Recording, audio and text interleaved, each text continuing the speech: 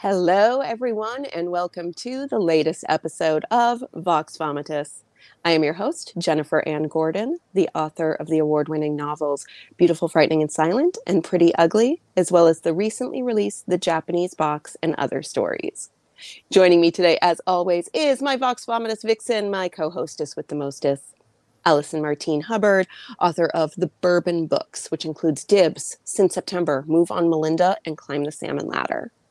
Joining us today is Thomas Reed. You can just call him Tom. He told us before the show, author of Pocketful of Poseys. Uh, you also have another book that I did not read that I really kind of want to talk about. Um, Thomas Reed, welcome to Vox Vomitus. Tell our listeners, our viewers, a little bit about yourself, and then we'll we'll transition into a little bit about Pocketful of Poseys.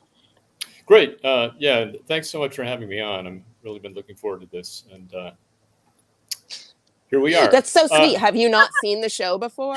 yes. I did, and I and I'm still looking forward to it. So you could Oh, just, I, I could change my mind completely by the end of the session, but I'm, Like, I'm feeling good right now. Like if all of a sudden Thomas has technical difficulties and he's gone, we'll Okay, just go. you know Yeah. what though? Oh, Yeah. Okay. We could- So Did we got the notice from FEMA that there will be like a- a broadcast at 11:20. So about 20 minutes into this, or I put two twenty. Yeah, I put my phone in the other room, but if you hear Holy a cow. weird high pitched sound, it is not the apocalypse. It is just my school district communication. It should not come on my computer. It'll just- definitely happen to me because I am recording on my phone because it has a much better camera. Jennifer. Well, we'll see. We'll just we'll play it by ear. We'll and we'll play by survive ear. it. Sure. We'll survive it. Apart. We'll just- survive the fake FEMA apocalypse together. Yes. Yes. Thomas, tell us about yourself.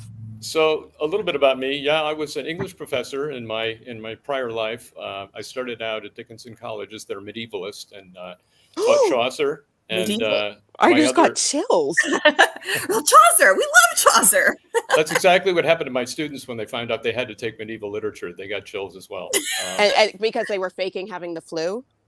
that no, they were they were just reacting realistically to the. They to the really did like it because No, they got to like it by the time they lived through the first four or five classes. But the thought of, of Love it. having to read ancient literature, particularly Chaucer in Middle English, that was daunting for some people. But I But did do anyway- that in junior high. Yeah, I did it in high school, but I, junior high seems mean. You were at a Catholic school at that point, huh? Uh, no, I had just gotten to a public school, and but it was a in junior high. it was from a community that was pretending to be a private school. Oh, okay, that's fine. Go on. so anyway, okay, there I was doing medieval literature, and uh, Chaucer was my main guy, and another uh, writer named Marie de France. Uh, Lauren Groff has actually just written a wonderful novel about her. Came out a couple of years ago. But then I got towards the end of my career, got interested in Victorian literature, and um in 1990, uh, Valerie Martin came out with a book called Mary Reilly, which was about the story of Jekyll and Hyde from the point of view of a maid in, in the household of Dr. Jekyll.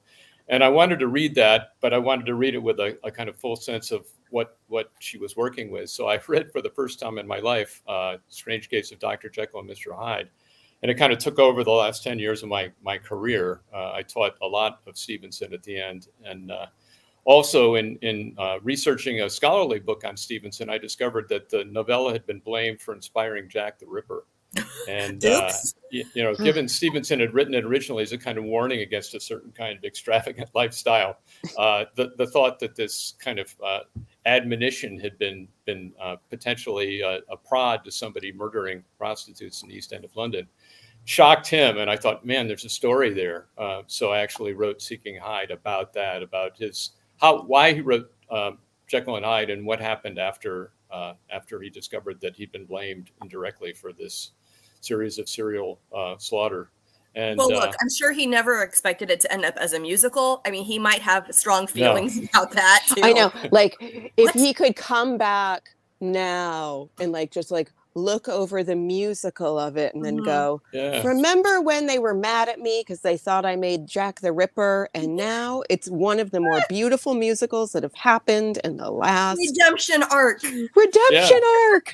We But had a musical they're gonna- theater. Next thing you know, they're going to blame Dante. You invented hell. How dare you? Yeah, no, that could well happen. And all this, you know, I mean, that review could of literature. actually happen in our lifetime. Yeah, but Dante's dead, so I think he his he's fine. He doesn't have to worry about that now. anyway, so so there I was, and uh, that was my first novel, and uh, Pocketful of Poseys is the second. And has very little to do with Seeking Hyde. So there's definitely some kind of detour going on. So you go from medieval and and we go Yeah. Chaucer to Robert Louis Stevenson, and then you go from Jekyll and Hyde to Pocketful of Poseys, where you've got some mercurial characters, but I don't think any of them were up to that kind of antic where they're turning into other people and murdering folks. Because I must admit, Not that quite. Not, Not quite that. that. far. No. Not but yet. you do I- have a huge cast of characters in this book. It is rather large, yeah. So, uh, so Pocketful of Poseys, we're going to ask you for your elevator pitch in just okay. a, a few minutes. But stretch first before you have stretch, stretch, stretch, stretch, breathe it out. Uh, so, Pocketful of Poseys is drastically different than Seeking Hyde.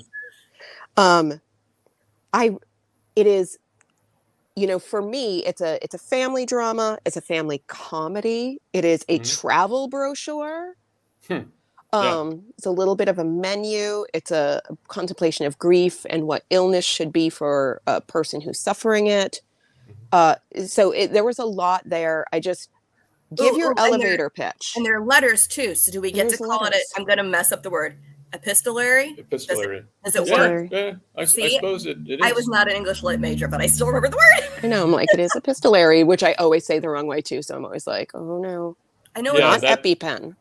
That's a nice different. that's a nice generic uh, uh, call that I hadn't really thought of. But and the first English novels were epistolary, so maybe I'm going back to the beginning of things, even before Jekyll and Hyde. So anyway, So Yeah, elevator, elevator- pitch. elevator pitch. Uh, uh, It Brian, doesn't have to be ten words. It can be. Yeah, Brian and Grace. Brian and Grace are forty-something twins, uh, and their widowed mother, uh, who's lost their father, her husband, little bit before the action begins, uh, has uh, been diagnosed with Parkinson's disease, and she's struggling with it and and not doing terribly well. Uh, really decline in her neurological functioning, and she decides after a heroic struggle that it's uh, her body's way of telling her that it's time to hang it up and and move along. Um, she doesn't necessarily believe in heaven, although she talks to the doctors about wanting to rejoin her husband, hoping that'll make some leverage in terms of getting her into hospice. But uh, anyway, she's she's uh, decided she is getting a message from her body, and so she decides to stop eating and drinking, and uh, she needs Brian and Grace to kind of support her in that. And after some searching discussions and and uh, you know a little bit of wrestling with their conscience, they decide that they can do that, and so they're there at hospice as as their mom dies. She in, in her last days uh, arranges for them to take her ashes and the ashes of their father and sprinkle them at, at six locations around the globe. And I should It's like say it's a grief scavenger hunt, It basically. really it is, yeah. You're And- leaving stuff instead of taking it. yeah. and let me reiterate that it's a dark dark family comedy and it, it's dark because it's about funeral funereal matters and it is a comedy so none of I this will that i'm say- describing go ahead I know it sounds like I just wanted to like burst in and be like, I know people who are listening, they're going to go, this sounds like too sad to Hmm. handle. And and I will be perfectly honest, I went into this and I'm like, uh oh, this is a mom with Parkinson's. My mom has Lewy body dementia, which has Parkinson's Hmm. Yeah. symptoms. That is a mom who has a cat named Jimmy. My mother has a cat Oh, yeah. named Jimmy. My father passed away. Uh, I was like, I don't know if I can You do had this. an unborn twin. I had an unborn twin. There you go. This really could have been about you, Jennifer. It's in New Hampshire.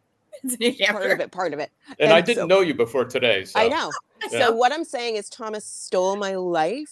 Mhm. No, no, I know you didn't. But so I. i better get this- off now and just give you my lawyer's Yeah, name and address Bye. Um, no, I, you didn't. So, but I wanted to say, like, I went into this thinking it was going to be, like, a sob fest. tearjerker, Yeah, a sob fest. And though there obviously there are parts that make you well up, it is like you said, it is a dark family comedy.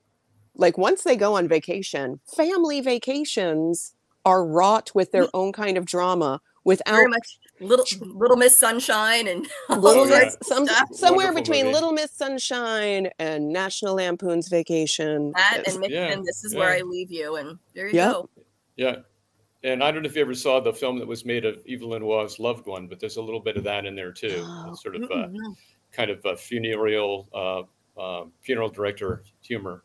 But anyway, there there they are, and their their mom has arranged for them to, to sprinkle the ashes around the, the globe. And it is a buoyant novel. I think finally it's a it's almost a feel good kind of thing because it's about a family learning some truths and facing some truths and, and coming together.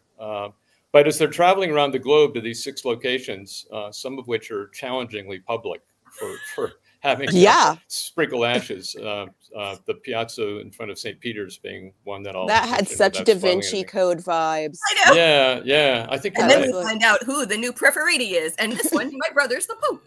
Yeah, that's didn't happen. But- but she also sends along these handwritten notes where she's telling them things uh, which explain why they're at the various places they are and how her life was unfolding as she was in these various locations.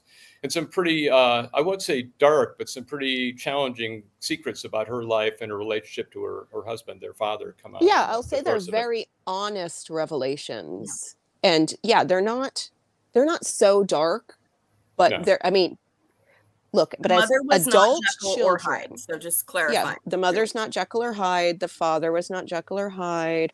Uh, but as an adult Hyde, child, to hear literally anything about your parents that is not Mm. already part of your mythology, La, la, la, la. and these parents were kind of open about like how into each other they were, especially mom Right, Oh, especially mom. especially mom um and the letters prove that so like but to hear other things that might go oh that's shocking even for mom Mhm. when you're like trying to smuggle ashes into the Shelley Memorial at Oxford Right. and then having a discussion and this is not a spoiler about the shape of his penis yeah. yeah. Shelley's penis Percy Shelley's penis yeah Yeah.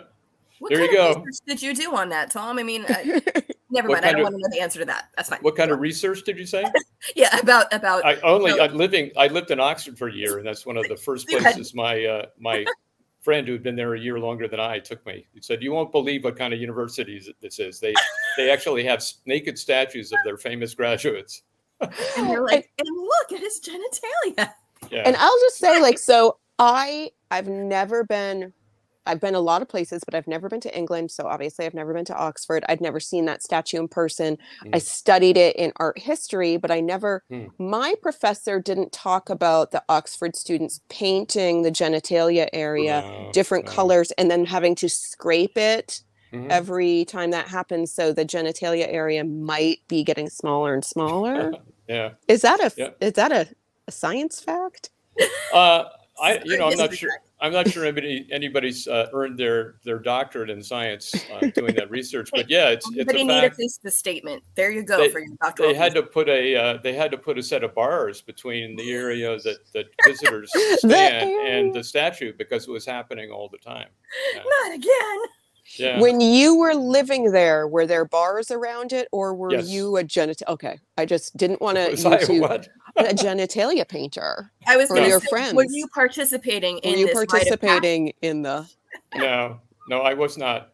And I should say that that Caitlin told me that I should can't uh, say anything that my grandmother wouldn't want me to to say. So Oh, Even so if- I'm even sorry if- I said genitalia so many times even times. if I were a Caitlin genitalia knows what happens I on wouldn't this show. I wouldn't admit it. And and Candace, of course, chooses now to say, "Hey, I think that's probably responding to the genitalia comment." I know she's just like this podcast is spicy. We're talking about art history, okay? We are. Your yeah. head we out of are. paint set. and literary history. It's Percy Shelley, and it's a sculpture. It checks off all the smart boxes, Well, and except I- for math and science. I've been to London, but the only part of London, or the only part of England that I was in that wasn't specifically London, was when I went up to Bath. So I obviously Hmm. didn't know the historical art importance of going to Oxford. Next time, obviously, that's going on my list right now. Oh yeah, definitely. But Bath is a Bath is a great second choice. That's an amazing place. And if It you're a Jane if you're a Jane Austen fan, it's it's better to go to than Oxford. So I just want to go to all of it. Um, so, Putting so um, Tom, just so you know, Allison and I usually try to theme up our outfits to go with the book, but we wearing didn't. I we didn't have a lot of Rolexes, so uh, I Allison's wanted wearing to match the cover for obvious reasons, but Jennifer's like Jennifer wanted to eat Thai food, so I'm going. That's I almost ate the Thai food that I made for my husband last night, but I did not because that would make a bad interview. But I am wearing a blouse I bought in Italy, not in Rome, but oh, I did wear this on a train in Italy like two days before I got to Rome. I say it counts. that's great. It counts. Yeah. It counts. It does counts. I, definitely. it's like searching my whole house. I'm just like, what did I do in Rome? And then I'm like, oh, I drank a lot of alcohol. Yeah. that would be a different kind of interview. if you're I just like wandered around going, I'm in Rome. like every Yeah. other American. Please don't do It- that. it's an amazing city, really. It was like overwhelming when all of a sudden I was just like, and I, I, I didn't want to be that American who's just like, oh my God, it's the blah, blah, blah, it's this. But But you were because you were drinking. We started drinking early too. There you It's gonna, because I had to use the bathroom at like 8 a.m. And I'm like, let's just go to a bar. Yeah. Tell 'em But I mean, how many how many places can, can you actually see modern life functioning, you know, in traffic jams and people honking at each other and then the ruins of an empire, you know, right around the corner? I know, mean, like we just- had like lunch, like at like a pizza place, a nice pizza place because it's Rome, uh, but like literally overlooking history. And I'm like, Mm. it's weird that I'm eating a pizza. It feels Yeah. disrespectful to the ruins that you're just like, it's just pizza. But the people who live there are going, this is just where we live. And Yeah. it's just the Americans going like that. There's And a when I was living there as a 15 year old, there was a place called the Piazza Argentina, and my parents uh, rented a room in a palazzo nearby, and that that piazza was was full of cats. You know, there were thousands of cats. Just How many of them were living named there. Jimmy? and They're then you know they Jimmy. were they were reproducing faster than you could uh, blink your eyes and uh, but the thought that this Rome was now the ruins of Rome were, were a kind of breeding ground for for cats was really pretty amazing. I kid amazing. you not. The first book I remember reading that I picked out as my favorite book, and I've looked it up, I can't find it since, was called Michelangelo and the Cats of Rome. I read it in second grade. So apparently, this is not a new phenomenon. The cats have been around Yeah. since I was in second grade, at least, because it was an old book even then. And But yeah, I I, was, that's- like, I always when I- say Rome with cats, and that's why. My- when I travel anywhere, if I have time, my husband and I will just follow a stray cat for like several hours and just see what's Mm. happening. We did that for an entire day in Porto, Portugal, and it was the best tour I've ever had in my life. Were you on any Wow. substances while you did? No, Were you following cats around? Who So does that? because they really know where to go, like down little alleys, upstairs. You have to So like do you think they're on the outside. payroll of the tourist board or something No, like they that? should be apparently. I mean, I think in certain places they are. I feel like the cat I followed around uh, Corfu, Greece, definitely was getting paid because I'm like, yeah. did you just bring me to a ticket booth? but the cats in Porto just kept going into like abandoned places that we couldn't get in, and we were like, should we just Yeah. hang out outside? don't go into abandoned places just because the cat went in there. It's a bad strategy. Well, if a cat takes you by a bathroom every two hours and by a like a cafeteria in between, then you know the cat is is The cat's purposeful. on the payroll. Yeah, That's probably on the payroll. Well, Um, as far as oh. I was just going to ask, you talking about the places that you've stayed in or that you've lived. Are all the places that we visit in Pocketful of Poseys are all on places that you've visited or lived, or is it some of them you've traveled to just briefly? They're they're all places that I've spent substantial amounts of time in. Yeah, I mean, even Singapore. My daughter taught in Singapore for a couple of years at the American School. So uh, even though that's just a waypoint on the on the Posey's journey, it's it's a place that I knew fairly well from having been there for you know a stretch of time. Um, So when you were writing this, I don't. So what years were you writing this? Were you writing this during the pandemic when we couldn't go anyplace, and this Yeah. You're I started need to as go like a, places in my I need to go play? Yeah, yeah, and and I, I probably was uh, was sort of vicariously living the experience of movement through the, the world in ways that I couldn't in actuality. Mhm. But I was writing, yeah, from uh, 20 through 22, I suppose, um, with the, the sort of prime time, and maybe the first year for the bulk of it, and then uh, and then the second year more revision. Uh, Jennifer's dis- disappeared. Jennifer, I, I can tell you what happened when we talked about the apocalypse. I can hear it happening in the other room. And since it's coming from her phone, she had to Mm. remove herself so that we wouldn't get this really horrible ear piercing thing. Oh, So okay. when she comes back, I'll put her back Okay. on. So rather than it's just her her Yeah. emptiness. She was not she was not ditching out of the interview because I know she's the one who asked the question. She's like, but I wanted to know when this was. Because we Yeah. talked to so many authors who usually they visit the places or they do research in the places and they had to completely change their process during covid because they didn't have access to these places or you know they, they couldn't go to the place or they wouldn't have access to the documents or any of Right. that now she's back um we are not the kind usually who have to go places but jennifer likes to incorporate it so i'm adding jennifer back in Yeah, Jennifer. Hi, sorry Hello about again. that. there we go So, no Thank i told for- the apocalypse happened we heard The it Yeah. apocalypse happened. We were kind of planning for it, so Thank you for sparing us the, the anxiety of that. but uh, yeah, I I didn't have to do any research. The only thing I really had to research a little bit was uh, the the train station at the uh, Jungfraujoch in, in uh, Switzerland when they go up to sprinkle ashes up at the you know 14,000 foot level. And uh, that I had gives been up. me anxiety, by the way. yeah, like the Oh. Good. I thought it was supposed to. I think so. I, I Good. feel like okay. I've- I was just like, I don't want to be like, accomplished I'm blaming you for something. yeah. No, I, I loved so like I don't want to cut you off, but I love that ever there was like an a, like a mini adventure every time they obviously had to sprinkle ashes places Nothing from just like happens. Everything yeah has from like a, a like like, the a problem. some places closed, uh, some are public, some are at Yeah. fourteen thousand feet, and the and Yeah. the just sprinkle me in the snow is not as easy as right. As mom thought it would be. Yeah, I did an interview with Susan Perabo, who was one of my colleagues at Dickinson and, and a terrific writer, really very, very good. And and she uh, wrote up some really good questions. And one of them was, I mean, because you got basically the same thing happening six times in a row in this book. You've got six sprinklings. She said, "Did, did you worry about monotony? You know, and how did you keep that from happening?" And uh, you know, it's a real. That was probably the biggest challenge in the book. And and the the bad weather conditions in two of the two of the instances, and then the frighteningly public necessity of sprinkling ashes right in the middle of St. Peter's, you know, the biggest tourist attraction in almost the Western world. I know There when were- you when you listed that as like this is where they're doing it, and I was just like, how is that? and this is obviously like this is not a spoiler, but like you know talking about like we've got to maybe put them in our pockets. Right. Literally. That's the, the great Literally. escape.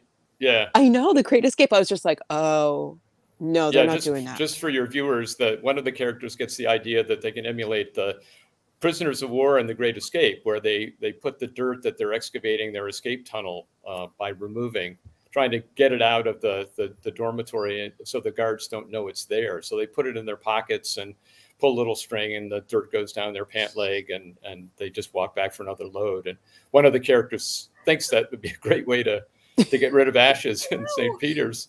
And uh, it leads to the Get a bunch joke of about stuck to your leg and in your leg hair if you're, Yeah. if Brian. I'm like, oh no. Well, you wouldn't you wouldn't want to be sweating, would you? You want to no, sort of go I was out. gonna say like you. when I've been in Italy, it was quite warm. yeah, absolutely. But that's where the, the title actually came from, Pocketful of Poseys, because Frank and, and Cindy Posey would have been in there if that was the sprinkling uh, mechanism. And honestly, when I when I was sort of brainstorming this with a, a guy who was actually taking care of my mother, who was in the last stages of her life, uh, he sort of thought of that as, as uh, an opportunity for somebody to see this guy trying to get the ashes out of his pants and, Like, and what is sort of that questioning him on that. You know, what's going on here? but Nothing. that you know thinking about that scene uh, and and the kind of dark humor that would be epitomized there really gave me my key as to what the book the whole tone of the book would be i mean it would be it would be this very poignant moment but that had hilarious elements to it and that, that And my everything, mom's er- in my pocket. everything else is just trying to trying to write a book that would would hit that that tone well, I will say, um, have you ever seen the movie The Big Lebowski? yeah, yeah And there's like a scene where they're scattering ashes and they blow all over somebody's face. So this Yeah. happened in real life to somebody I know, and they were having a Mm. very somber moment, scattering ashes. And this was the, their family's favorite movie. They watched it weirdly every Yeah. Christmas, and they were That's like on great. a mountaintop, and the ashes scattered, and that happened, and they were like, "She's here. yeah She, she did this to us." And then they all laughed, yeah and then like went and got drunk because they were like, uh, "That's what. That's the sign." Yeah, that's I mean that is not an uncommon experience. And and one of the things I had to do for research was sort of Google uh, ash sprinkling accidents. Oh Uh, no. Oh yeah, I was going to ask if you'd actually, you know, if part of this was. ba- I think some of this is kind of based on things that have happened to you, but I don't think you've had a worldwide ash sprinkling. No, no, I haven't. Uh, although I Well, when Allison and I die, we will, um, we will leave that to you and your family. No, I'm going Neptune Society. I just like the name. my wife thinks there ought to be a, a sort of travel agency that specializes in things like this. You know, transglobal, circumglobal ash sprinkling. Um, even just even just in the united states because i'll say my father passed away my mother is not doing well and even she's been like what i would like is for you and your husband roman to bring dad and i all down the east coast on the same route that like we used to take hitting all the beaches to get to miami which is where she grew up and i'm like Yeah. i'm like Um, I don't really want to take that trip, but I definitely wanna- will. I don't want to go to Florida. yeah. We've actually, my wife and I have discussed uh, getting our children. I have a son who's uh, 31 and a, and a daughter that's 35, uh, and getting them actually to sprinkle our ashes, perhaps in the same places, right? Because we've been to all those places, and that would be a story, you know. Can you This That- is imagine? the that book they- then it becomes a book within a book within a book. Ooh, very Absolutely. meta. I love Yeah, it. It's, it's all of a sudden it's barbershop mirrors. Inception. Yes. Just goes on Yeah. forever. Yeah. No, it's good. Okay, so as far as weird first jobs, I my first job was at a swim school. My second was at a funeral home, and the Mm. fact that so many people don't talk about prearrangement, I love. I love that we're bringing up the topic and that people are having these discussions in their life, so that when things happen, people know the ridiculous places they're supposed to sprinkle the ashes. And Right. probably the reason that travel agency can't work is most of the places are illegal. Like you can't arrange for something to be done that is not legally able to be done and can only be done by subterfuge and like Well, I was I was actually surprised. You're you're right. There's some places that don't allow it, but I was surprised at the number of places that do. Uh, and you don't need special permitting. It's it's actually harder to, to travel with the ashes than it is Mm. to actually deposit. Yeah, I thought anywhere. that was actually very interesting. The the parts where you talk about, and again, this is not a spoiler because we everybody knows they're traveling with ashes, Mm. but like the kinds of containers that they can be in, the paperwork you need. Yeah. Um, I mean, which again led to like some hilarious moments yeah. in the in the book. that I mean, I mean, maybe. wh- I mean, it of probably not that- hilarious for them happening to them, but as a reader, I'm like, that does suck. Right. no, there there are scenes like that, and I, I one of my favorite scenes is when when uh, Grace has to call Tuttle's funeral home and arrange for the ashes to be to be shifted over. And you know, if there's any any scene in the book that that I really owe to Evelyn Waugh and The Loved One, which is a marvelous satirical novel, it was written in the 50s, I think. It's that one. That's the the funeral director who uses the phrase "loved one" over and over again is uh, right out of that. And then, of course, when he gets a head cold, the loved one becomes a loved one. I love that one.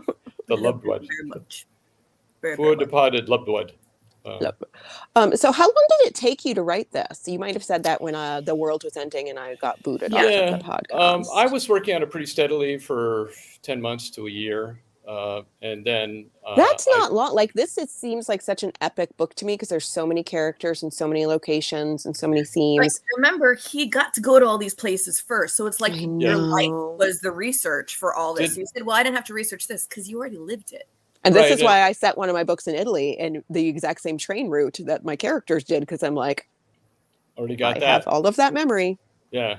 Every The train only- I missed, my characters missed. The only place I con- contemplated using that I that I haven't been was uh, Piazza San Marco in in Venice, because I have this secret hope that somebody's going to say, "Man, this is going to be a great story to make a movie of," and we got all these international locations. It's going to be just like James Bond, except with ashes and no Oh, guns. you know? family. no So- guns and just family drama Yeah, and like but but I but I hadn't been to the to, to Venice at all, and I thought, no, I'm just going to go with the place that I know, um, and and so it was Rome.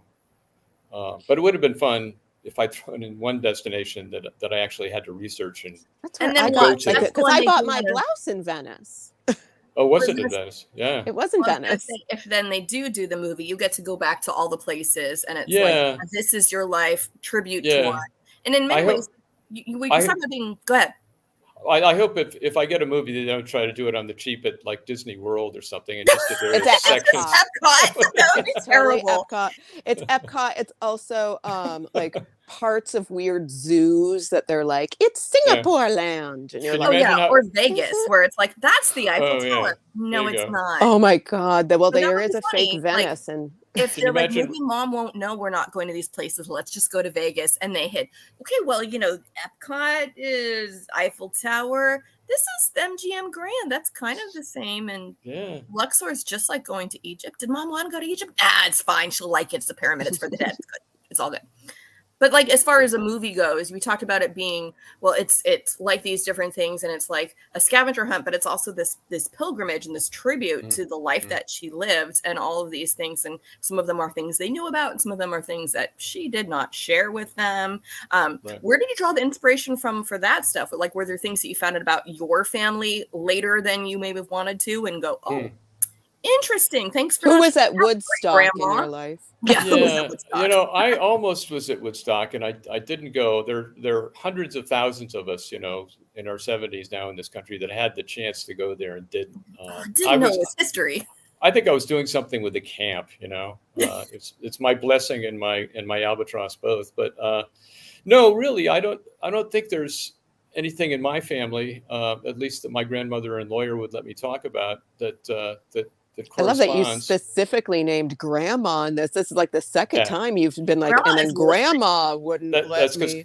that Caitlin left me under strict instructions to keep my grandmother always in mind. Um, exactly. but no, I think there's so many um, there's so many ways in which when we imagine leaving this world, we review our lives and, and there are things that we have done that we either do or don't tell other people about. And, Mhm. and if there's any kind of uh, educational value in, in our failings, um, we have to decide whether to pass them along or, or not.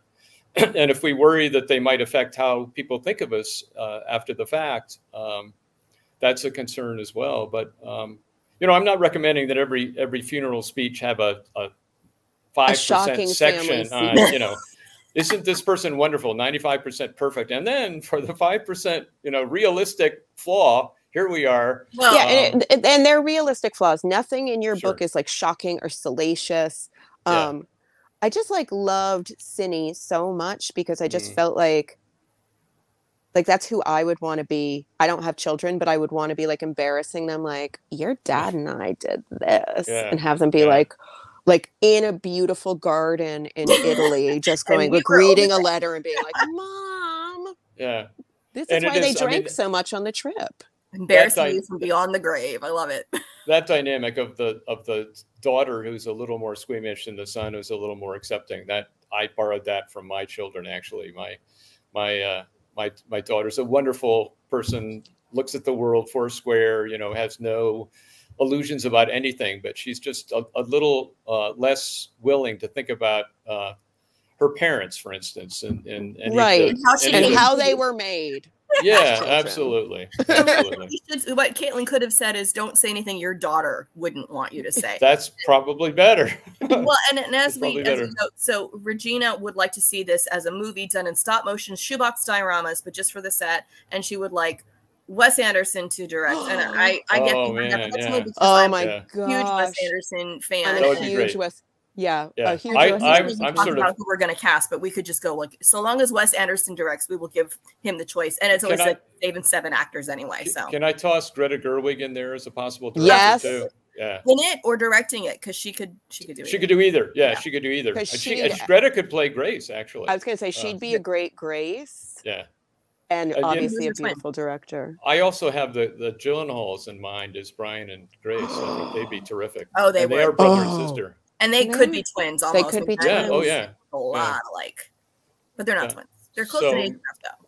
There and I I think you know Cindy could be Sissy Spacek and uh, um, Uh, not that name? you've thought about it at all. Not that you've that thought about it, but we're like we get whipping out the list. with Jenny Spacek. Ortega is Sage. Sa- Sage, I, I loved. I mean, I, I didn't think she was going to be a good character at all. I thought she was going to be like a, a thorn in the side, and she turned into a pistol. She really- turned into a pistol. I will say, um, and this is like a, such a compliment to to your writing and the character specifically. I was like, ugh, Sage at first. I was like, that's a lot for me to deal with.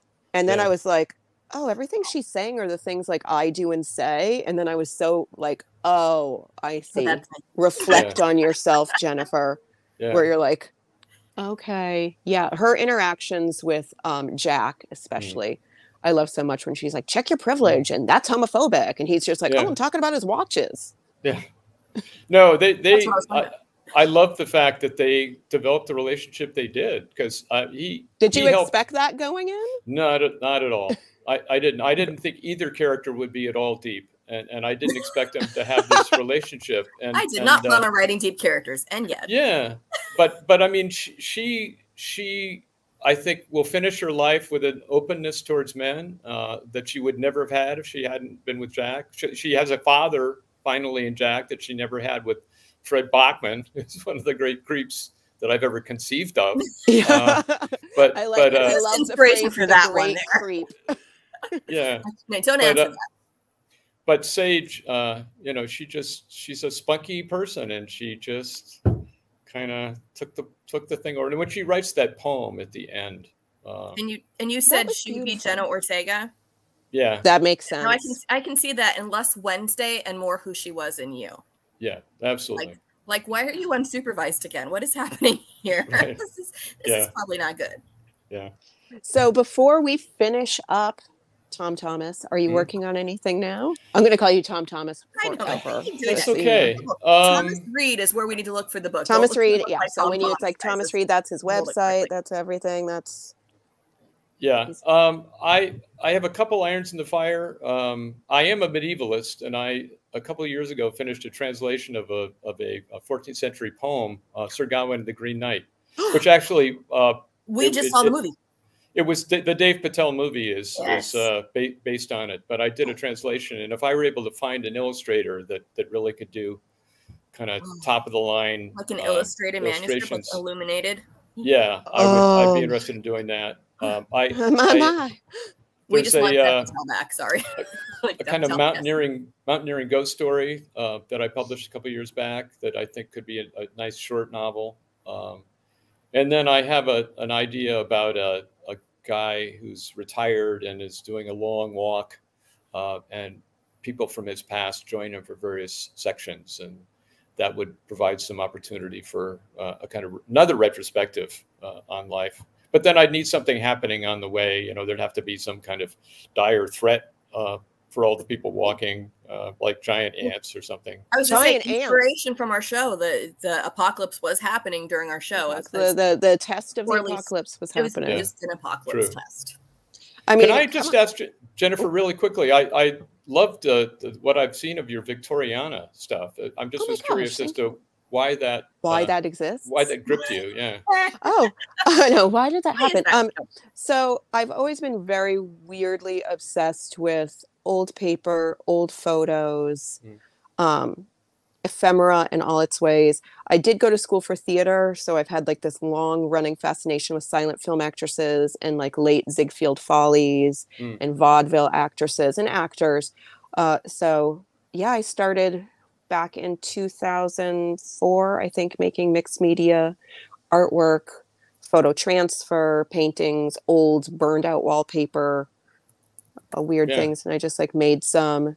So yeah, so everybody who like I never talk about this on the show, but I do have a coffee table book called Victoriana, which is a I am- collection of my work. anybody sees me moving, it's because I am posting the link in the comments. Oh my because god, you're so we sweet. don't we usually don't talk about it. Okay, it's just posting Thomas Reed instead. That's not what I told us to. I'll That's try. okay. No, but I it's mean- one of those. It's one of those things where we think of you as an author with words, but you also use other media, and that's definitely one of those things where you always say, "Oh, I'm the author of these things," and you don't mention Victoria. And I'm not like, oh, and then I did this. without Yeah. without other. and I always feel like it's like part, like kind of part of a different life, but but a It's lot all- of like the inform it though. They're all it's you know it all informs each other and if you bought my book victoriana and read the titles of a lot of the pieces you would go oh these are kind of lines that worked themselves into my first debut novel beautiful frightening and silent because i took a lot of my poetry and made those the titles of my artwork and then a lot of Mm. that poetry turned into my book beautiful frightening and silent Now I got the link there. But yeah, when you asked like Vic- Bam. what Victoriana is, I realized people wouldn't necessarily even know what we were talking about. I'm like, i know unless I they would like love- stalk my website which they probably should. It's a nice. Sure.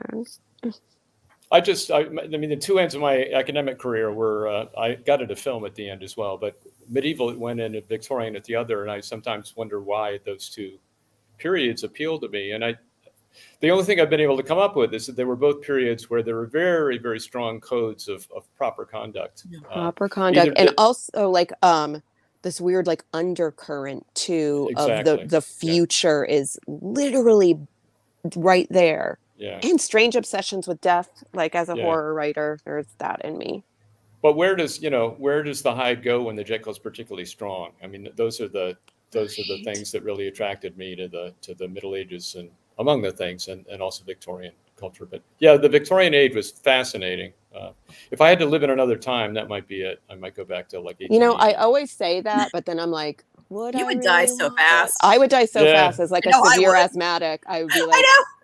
I'd be like Just- negative 30 years from now. Stay away from rats and dark alleys, and you know. I think that's all they little longer life. had. Well, you were doing following the cats. Where are they taking you down the dark alleys? So No, Yeah. Don't I follow the cats, that. that just leads to fleas, leads to everything bad. all the plagues. All the plagues, all the plagues. Uh, Thomas Reed, you have been amazing. Thank you Well, for I've- being here with us I've today. really enjoyed it. It's thor- thoroughly enjoyable. Thoroughly to spend some enjoyable. I love that. Um, so next week we have David Scott Hay. Correct. I'm like, I just wanted to make sure I was getting the, the name Yeah. right. And his book is called NSFW, which means not safe for work. And I haven't started it's it yet. not. Allison, you have. You said It it's a not. techno horror novel. Mm. It is written in such a style that I I have don't know rarely seen. So it's it's long, but it's a fast read because it uses a lot of um, negative space. Computer code. Computer. Not even. Thank you. It's not written in binary because I could I know. I'm like, uh oh. Linux. What? I don't, I'm probably not even using that. It's JavaScript. No, but it uses a lot of negative space and it's very narrowly written, so you may only have a little bit per. So it won't take that long to read. Interesting. But don't try to binge it because you will probably need time to be processing what you read. Just putting it that way. Got it. That's all I'll say about that for now. Awesome. Well, we will be talking about that next week. Thomas, thank you again. Everybody who is watching this live or on the replay. Pocketful of Poseys. Thank you so much. kind of shiny. Very Thank you, good. If you want a worldwide romp about grief and ashes spreading, that's hilarious and sad. This is it. Wonder- This is wonderful it. summation. That's great. I know. I'm like, it's a lot of the things I like in this world. Hilarious, sad, travel. Yeah. Great. Thanks so Very much. sad travel. Thank Bye-bye. you. Bye.